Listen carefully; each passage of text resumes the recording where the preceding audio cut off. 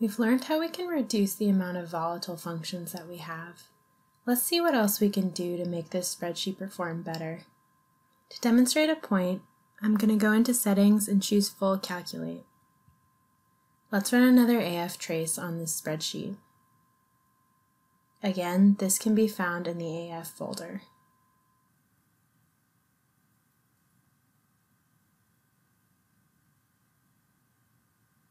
I'll make sure to use the process ID of Excel, the right keywords, and I'm going to name the log before.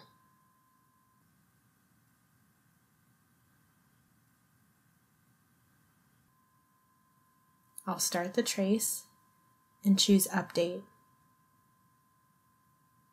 Let's wait until the spreadsheet updates a few times.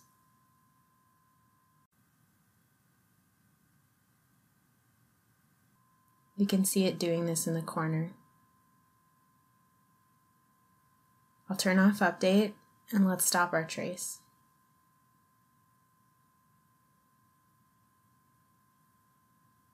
When we open the log in Notepad++, we can inspect it and see that we have on the order of thousands of calls being made for probably about two updates. So how can we make this better? Let's go back into our spreadsheet and take a look at the way our calculations are formatted.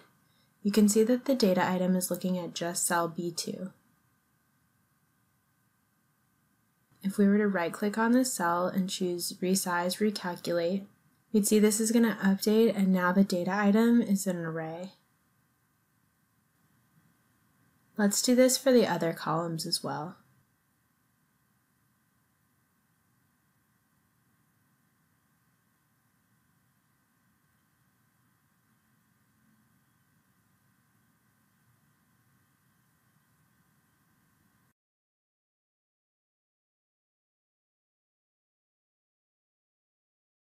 Now that we've done that, let's run another AF get trace. I'm going to use the same settings, but rename the file to after. We'll click on Update and let it update a few times.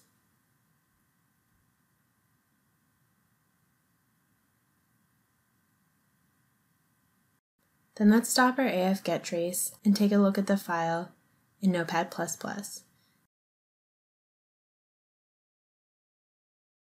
We can see that we have an order of magnitude less calls than before we changed our formulas to reference an array of data items.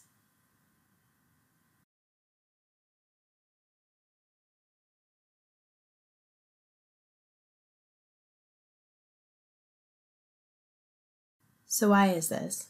Let's take a look at the DataLink documentation in Live Library, our online user guide. For retrieval of large amounts of data, the following conditions must be satisfied to make bulk calls.